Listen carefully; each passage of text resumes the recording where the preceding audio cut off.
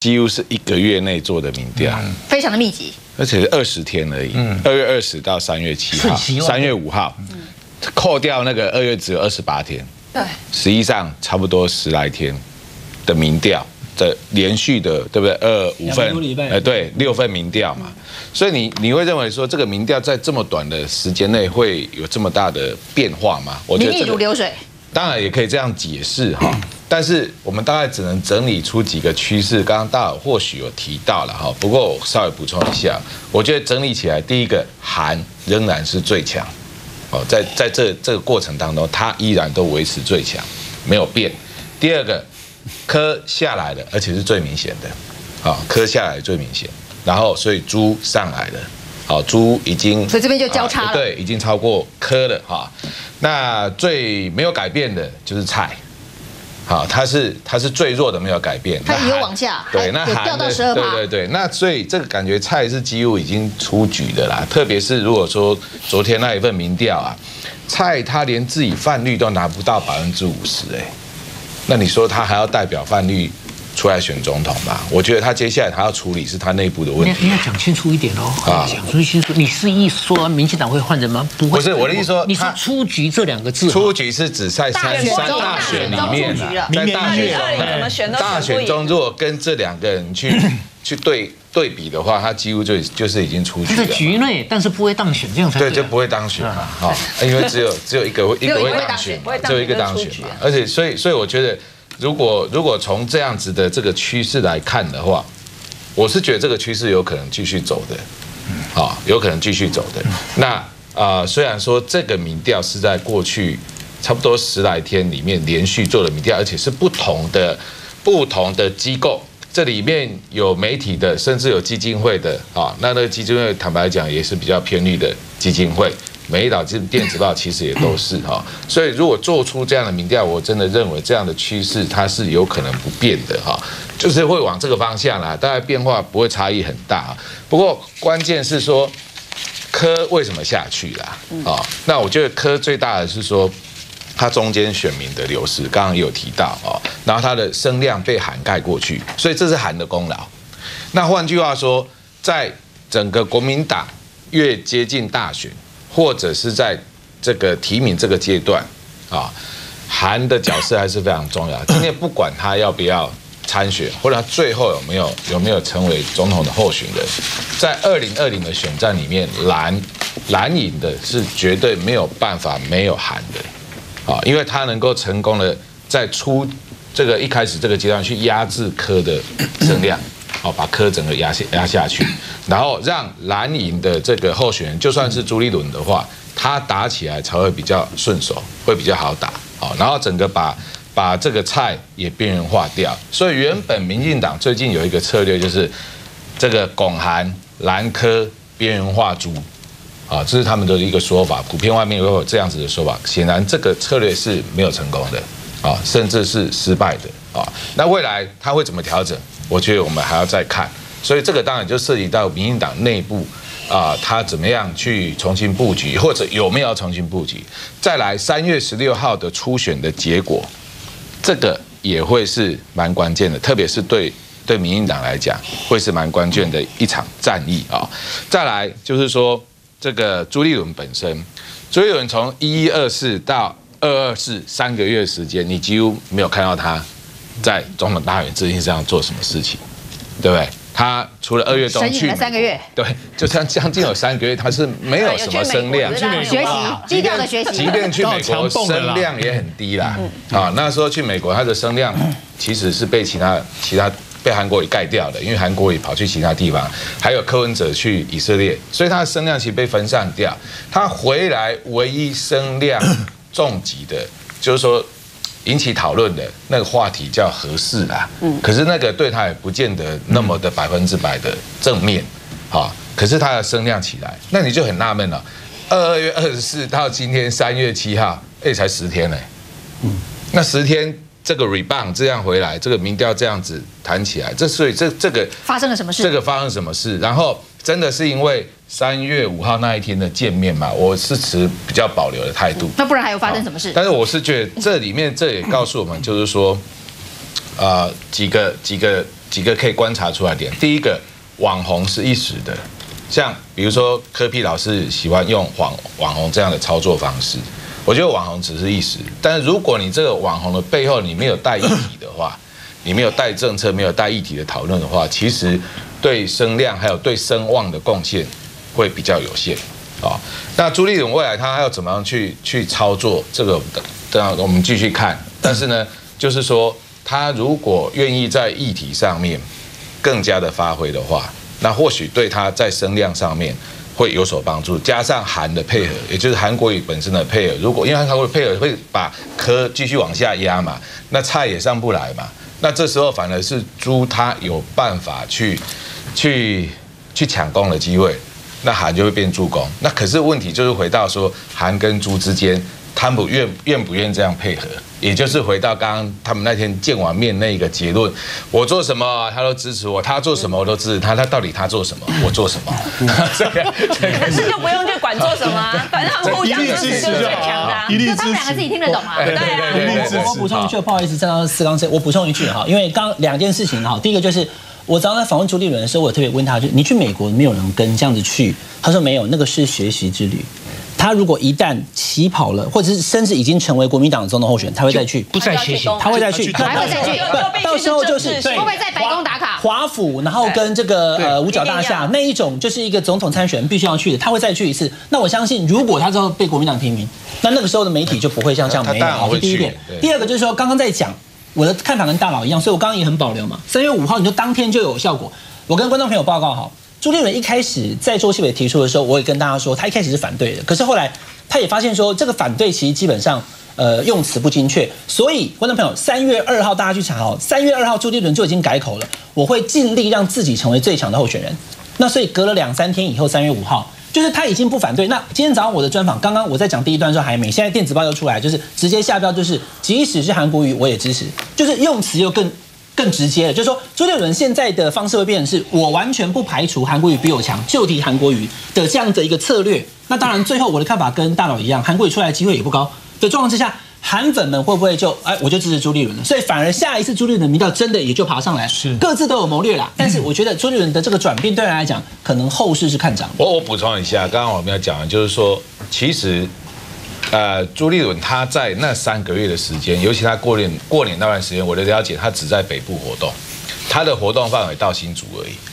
他新竹以南几乎都没有去。第二个，在去年十一月二十四号的选举，实际上他的浮选能量，他的浮选动作 在中南部并不大，他几乎都在新北，顶多顶多这附近而已。好，那所以所以现在。这是什么策略啊？不，其实这这不是策略。我我现在不是策略，我现在讲说，所以其实，在中南部很多人不是很了解他，也不是那么清楚。中南部对朱的认识啊，对朱立伦的认识是比比韩国还还低的，所以这个是朱立伦本身他要去克服的。好，那如果如果说他未来他的策略正确的话，那。才有可能让他的这个民调继续往上走，否则的话，呃，中南部啊，对韩的认识还是高于对朱立伦的认识。韩国瑜这几个这几个月来的最大两个功能，第一个把。柯文哲压下去，因为以前柯文哲算是他在网络上的操作非常成功，所以很多包括吸引很多中间的选民也好，或是比较年轻，甚至说比较常接触网络族群的人。现在接触网络族群，我觉得八九十岁也很多，我们不要不能用年龄来去区分了。长辈不是接触赖吗？对，不现在长辈看 YouTube 的也很多，所以不能用这年龄来区分。说大家亲近网络的程度越来越高，所以柯文哲在这个在工具的使用上面领先当时蓝绿所有候选人呐。最早渗入网络，而且操作的很成功，而且他当时确实是很天真浪漫无邪，好，然后可以骑个机车说那个台北马路很烂，但他现在的网络操作太有目的性了，那就不纯真了。我这个大家去接受一个那些能够接受一个真正人物在网络上的表现，是他做他自己，而且他的出发地目的性是纯真的。就像韩国为什么在晚上在家里面吃宵夜啊，也有三万多人看。他讲第一个，他他出发于自己的内容，他有内容，而且谈的是市政。那柯文哲，你看，包括春节那一段期间，跟网红啊这些，呃，来去做一些呃，共同在里面露出，你感觉他太，我觉得没有什么特别的内容了。那谈的时候，我觉得谈的内容很空虚，所以引起不到大家的一个喜欢。而且现在网络啊，有线上线下要相互支援呐，我不能只靠线上。你线下的这个资源要会让你的族群逐步逐步的扩大，所以对韩国瑜来说，他有线上的网络支持者，但是呢，他回到现实生活中有线下的所有的这个支持者，每次到他什么地方都围得团团水泄不通，所以线上线下相互影响，让他的这个扩散力会往外往外扩。但柯文哲有点麻烦，就是他的线下的影响力没有这么高，哦，没有那么高，大概基本上除了大台北之外，到到中南部还有一些，但你看台北整个他的大本营啊。在台北市，在台北地区，它基本上没有什么线下的人群，比比它巅峰时期相较已经少很多，所以它的线上线下之间不能相互的流串流啊，所以在整个的网络影响上面，那柯文哲显然就往下走，所以韩国瑜巩固巩巩固了在网络这一块的族群，而且他觉得说，哎，以前柯文哲很不错，但是我发现韩国瑜可能更有趣，所以他相互比较之下，他就完完全的盖过去柯文哲。第二个，韩国瑜的有效的巩固蓝营的支持者。包括之前几个天王，包括这个吴珠王啊，这些他们的还这是有点呃不部分巩固，有一部分人，比如说我有些马人，呃深蓝人对王金平还是有有疑虑，他的巩固率不高。那有些换注的对朱立伦有疑虑，有这个有这个还是有疙瘩在，所以他的巩固率就少那一块。那吴敦义那更不用说，还是有很多人对他有意见，所以他们这几位对蓝营的总体的巩固力来说。都没有那么的全面，都还还有一些疙瘩在。但是韩国瑜出来这半年多的时间哦，基本上把蓝营的巩固了，嗯，巩固变成铁板一块，啊，变成铁板就越来越往会不会往外流。而且他几个想法就基本上是他的人都直接讲法，激励蓝心蓝营的基层嘛，说明年一定要把换国民进党换掉，让国民党执政。然后今天还讲说，现在的民进党就像当时这个呃当时的国民党，就等着等着这个被被替换掉。所以蓝营巩固这一块，其实对朱立伦来说是相当有帮助的，好相当有帮助。因为大家也会看几个的候选人里面，朱立伦目前不管在民调上面，还是属属于 second best，就最佳第二人啊，除了韩国以外的最佳第二人。所以这个蓝营巩固，我觉得对朱立伦来说，基本上我觉得对他的民调来也有加分。他最重要的是朱立伦的转念改变了。之前在二月底的时候，二二月下旬的时候，他做这个两阶段民调，他基本上词词比较反对，而且讲的比较重。但是他一个转念说，哎，我觉得我还是要力争上游，我要变成第一个，让大家觉得说你没有焦没有焦灼在这个到底要不要韩国瑜这件事情，你把这个心胸打开之后，其实反而会让你的支持者去回流，甚至部分的韩粉会觉得说，哎，你要让韩国瑜出来选，你的这个门槛也很高，你要有一个很完整的说法，否则他们也担心丢了高雄，然后整个南部的选票会不会因此也受到很大的影响，反而坏了。国民党在二零二零的这个大计，所以这些理性韩粉，他现在也会也会做思考啊，也会做思考。所以在一来一往之间，我觉得对于朱茵来说，目前是有点略占了一点优势的啊，略占一点优势。所以如果朱茵能够抓住这个优势，并且能够和韩呐啊。和韩呐，和好韩国瑜，然后有王，你说让韩粉支持他，对，和韩有王啊！我想对朱元的战略来说，是也是三三边关系，对朱元的战略来说是比较 OK 的啦。绿白之间出现弃保效应的话，气的干干净净的话，假设有这么的一个状况的话，其实朱立伦还是敌不过柯文哲加蔡英文加起来的。对，当然，你如果是说呃有这个绿白的可能性，但那个神道一定很想马讲，对对对，他的脸书绝对会合不起来，他脸书已经说绿白绝对不会雪上加霜，对对对，还是会停。好，我们就不要讨论这个议题，不但不会，因为这样大佬而且这个问问题是很荒唐。等一下我解释。我们不讨论这个议题，这个大佬不专门问荒唐的问题，让大家有时间好好解释。但是我觉得今天出来的这一份民调的确是蛮有意思的，你可以看到那个的趋势哦。我觉得这一份民调出来最紧张的当然是。柯文哲哦，柯文哲可能没有想过说，为什么他的民调在这一阵子他这么努力的情况，竟然是往下掉的，没有办法维持住他原来一直保持这个，至少也只输韩国瑜嘛。那如果现在连这个朱立伦都可以赢过他，那他选怎么选？这当然对他来讲是一个很大的警讯哦。那我会觉得这个柯文哲下降的这一个趋势哦。很值得关注。你说刚刚大佬说柯文哲自从这个呃陈思宇大败之后就没有那个意思，没有。我觉得他的企图心非常强。即使那个大败，你看他那时候过年期间多么的密集，最认真的就是他啦，拼命跟网红连结啊，然后再加码以色列的行程啊，访美的行程，而且还要一日双卡。我觉得他当时不不认为陈思宇的败会伤到他任何的汗毛，所以他还是持续的觉得他可以往前跑，而且他可能认为这个韩国也不会出来选，所以他还是维持在韩国不出来的情况底下，他可以跑在前面。但是柯文哲他忘记了，就是说网红他可以一直当第一名的网红吗？恐怕很难。我最近有遇到那个呃女生的大学生，我问他们说：你们现在哦，这个最喜欢的人是谁？我以为他第一个要跟我讲柯文哲，结果不是。你知道他讲谁吗？他说陈其迈。所以你就知道说网红要换人当看看。他绿营的讲的是陈其迈，蓝营他讲的是蒋万安，所以你就知道说年轻人口味也在变哦。就是说一个阿伯看久了，在网络上，你真的认为他可以一直保有这样的一个新鲜感吗？那网络的手法推陈出新，可能现在陈其迈的招式已经胜过原来柯文哲的阿伯，他已经吸引到一些大学生的目光了。所以在这样的情况底下，我觉得今天这个民调为什么呈现出来，柯文哲他的那个光环，他的支持度没有办法一直在。之前他维持的，他慢慢有一些年轻人虽然还是最挺他，但是年轻人里面的结构也开始产生了微妙的变化。另外一个就是他跟韩国语的对照组太明显了，一样出国去，大家就会比啊，新马人家韩国语是什么行程，从早拼到晚，然后都是签约，都是订单，都是高雄为高雄打拼哦。那对照之下，请问大家知道了，柯文哲去了以色列，然后请问是什么行程？都是走马看花的行程，然后没有看到他拿出任何的成果回来。柯文哲不服气，然后又丢出来说：“哦，我有这个 M O U，我哪一年哪一年签了什么样的 M O U？但是那个都起不了作用了。所以这个是大家心中自有定见，就是说为什么都是市长，一个还是首都市长，一个是高雄的市长，市长对市长，那在这么短的时间之内，我觉得形成一个非常强烈的对照组，然后自然而然韩国的表现。”就会让大家觉得说柯文哲你的表现不够好。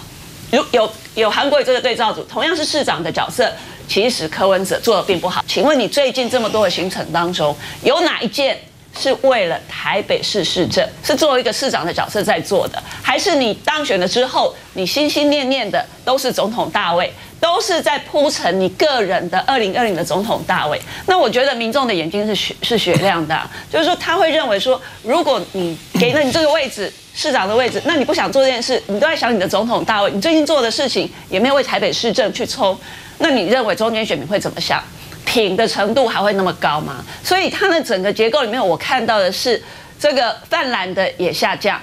泛绿的大概差不多。中间的恐怕也下降了一些，那这样子对柯文哲来讲，等于是柯文哲的下降，像各方的票就是支持度都在往下走。这个趋势，我觉得柯文哲阵营真的要小心了，他们太善于操作这一种这种短的，就是说哦，好像很快的炒热一个什么样的话题，包括他之前出彩的这个在以色列坐在机场充电的这个。本来以为是要吸引目光博得好感，但是没想到这件事情毁誉参半，甚至更多的是认为你一个市长不不用演成这样子。虽然你认为说没有电你就这样子很随性的去插，但是也用不着把这张照片抛上网吧。抛上网的这个动作让很多人觉得你这个市长不真，太假了。就是说你还想要借由这个事件再去炒作，所以柯文哲我看到的现象是他现在有点炒作过头，让人家开始有一点。不喜欢的感觉开始慢慢要出现了。那韩国语呢？他还可以维持这么高的声量，是他每一个动作、每一个表现，他心里面真的是要把政治抛开，他只想做事。我觉得一个人，当你是真正想做事的时候，你会获得掌声。而朱立伦的部分呢？最近他在在这个民调，你如果跟其他的比较起来，事实上他也有曾经在苹果，他也是三十一点八，就是他不是不是最高，他。它还不是是最高，但是也没有过去那么低。那对他来讲，有这个止跌回升的效果，我觉得这是一件好事。那朱立伦他欠缺的就是大家之前看不到他，就他没有在一些重大的事情主张上，他很快的在第一时间表态，然后展现一种决心、一种气度，然后给大家看。但是刚刚大家提到说重启合适这件事情，有的人会觉得说，哎，好像对他不见有利。但我的看法比较不一样，我觉得那一件事情有扭转。大家对他的印象，对，因为其实你要作为一个总统的候选，你不能闪躲的，在一些重大议题上面，你不是说这件事情有争议啊，捅后卖供就躲起来。他们之前犯的毛病就是这样，包括在讲九二共识的时候，第一时间挑出来是马英九，不是其他人。那如果在一些重大争议的事件上面，作为一个总统参选人，朱立伦未来会更勇敢，用一种很坚定的态度来展示给大家看。即使不是所有人都同意我，但那个就是我的主张跟看法。我觉得他的掌声会更多。